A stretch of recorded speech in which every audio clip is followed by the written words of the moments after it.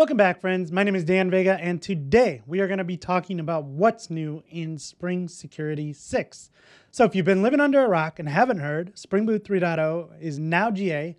You can head over to start.spring.io, create a new Spring Boot 3 project today, and if you include Spring Security as a dependency, you are getting Spring Security version 6. There is a document for what's new in Spring Security 6. I will leave a link to this in the description below.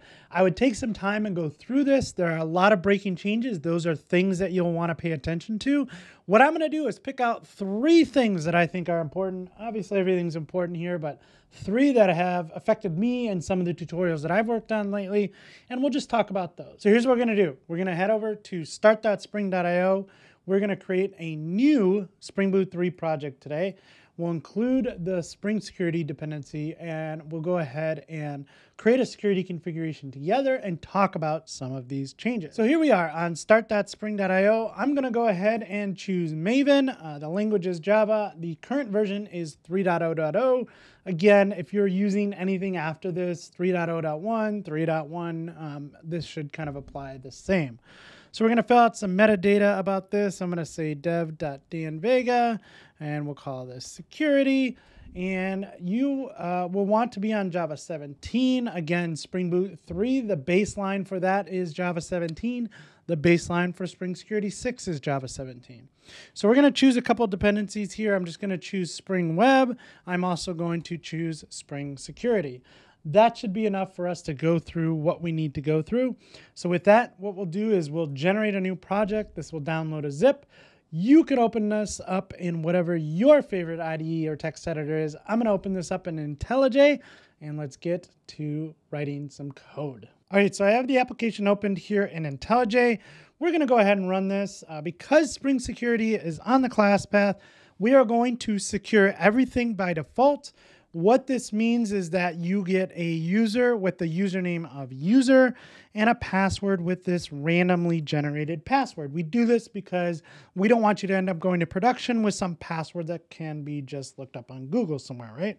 So we have this password. So this means that if we go ahead and create some resource in our application like a REST controller, that it's automatically going to be locked down for us. So let's go ahead and test that theory out. Let's go ahead and create a new controller. We'll create a package called controller and we'll create a new controller. Let's call this greeting controller. And inside the greetings controller, this is going to be a REST controller. Inside of here, we're going to create a simple get mapping with the slash greet. And inside of here, we will just return a string. Let's call this greet, and we will return hello world. So now what we want to do is go ahead and restart this application. And I'm going to grab this randomly generated password and I'm going to head over to the browser. I'm going to attempt to go to slash greet and we are going to get presented with a login form. Again, everything is kind of secure by default.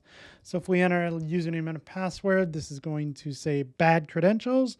If we go ahead and enter user and that randomly generated password, it will allow us to sign in. And now we are seeing that uh, greet endpoint, which returns the string hello world.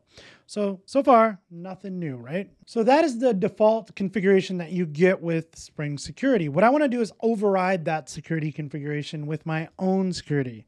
So what I wanna do is create a new package here. I'm gonna call this config. Inside of here, I'm gonna create a new security config class. And this is where our first change comes in. So in the past, what we've done is we've extended, so we've extends web security, web, let's spell that right, web security configure adapter. Now, if you notice that, it's not even coming up as an option. This used to be in the past that you would still be able to use the web security configure adapter, but it was being deprecated it's now been deprecated and removed in Spring Security 6, so you can no longer use this. If you are upgrading an application from 2.7 or 2.6, um, somewhere around then, up to 3.0, and you're using the Web Security Configure Adapter, that is one change that you'll want to be aware of. So what we need to do now is take a more component-based approach to this and create a bean of type security filter chain. So what we're going to do is we are going to enable web security. This is going to be a configuration class, and we are going to create a new bean, and we are going to create a new bean of type security filter chain and we'll call this security filter chain, which takes in an HTTP security argument. We'll call this HTTP. At the end of the day, you are going to return http.build, which will throw an exception. And that is that. So that is step number one. That is one of the changes that we're going to talk about today. The next change is we need to come in here and configure some things, right? So we want to say that, um, like for instance, the greet method may be allowed by anyone. Anything else you may want to authenticate.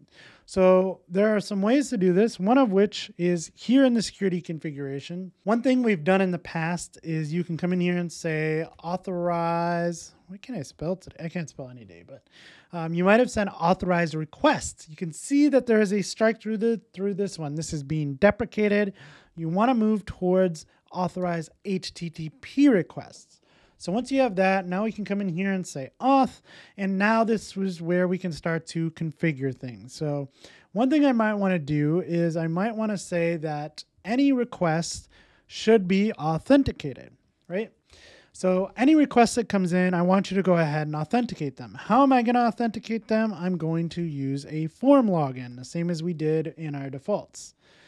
One other thing I want to do is allow that slash greet to be hit without being authenticated. So this brings us to change number three. In the past, you could have used things like Ant Matcher, MVC Matcher, or regex matchers. These have all been deprecated in favor of in favor of request matchers or security matchers. So what I'm going to do here is go ahead and say auth.request matchers. Again, this is where you might have used ANT matcher, MVC matcher, etc. So I'm going to use ant, uh, auth.request matchers, and I'm going to say greet is going to be permitted. So I'm going to permit all to the greet endpoint. So with that in place, now I should be able to go ahead and restart my application we haven't overridden the default user, so we're still going to get that user with the username of user and this randomly generated password. But now what we should have is we should all be able to hit greet and then any other endpoint should be authenticated. So I'm going to go ahead and hit greet and you can see I didn't have to log in for that. Any other any other endpoint though, so if we go to foo, we're going to be asked to be logged in even though that endpoint doesn't exist we don't want to tell anyone that it doesn't exist. We want to make sure that they're authenticated for any request, right? All right, so that's really all I wanted to cover. Like I said, I picked three out. We talked about three, but you should go through the release notes. There are a bunch of breaking changes here. Uh, you can just go through each of these and, and kind of see if they apply to you or your application. So there's breaking changes. There's some core changes, uh, giving you some native support if you're using things like pre-authorize and post-authorize. Um, some instrumentation. So Spring Boot 3, one of the big key features was a lot of the changes to observability. So there's instrumentation here in Spring Security 6, uh, some changes to LDAP and changes to web. So go through here. If you have questions about any of the changes, please feel free to reach out. Uh, I hope you found some value in this. If you did, you know what to do. Please give me that thumbs up, subscribe to the channel, and as always, happy coding, friends. Maybe we